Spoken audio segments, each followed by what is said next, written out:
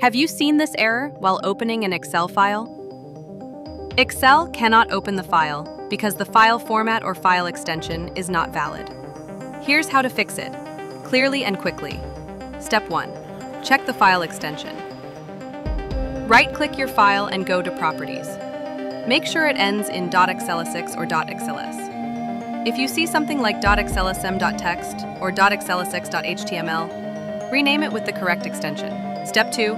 Open Excel first, then load the file instead of double-clicking the file. Launch Excel manually. Then use File Open Browse to select the file.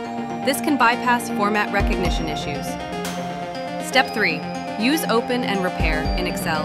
Go to File Open Browse. Click the small arrow next to the Open button and choose Open and Repair. Let Excel attempt to fix the file. Step 4. Restore a backup or auto-recovered file. Check for previous versions in OneDrive, Google Drive, or Excel's auto-recover folder. You might find a usable copy there.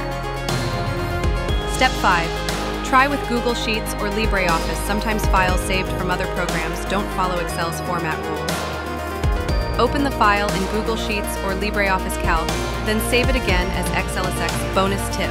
Unblock the file if the file came from email or the internet. Right-click it, go to Properties, and check if there's an unblock option. Click it, then try opening the file again. If none of these steps work, leave a comment below. We'll help you out. Like this video if it helps, subscribe to our channel for more real Excel solutions. And don't forget to share it with anyone who's stuck with spreadsheet errors. Thanks for watching.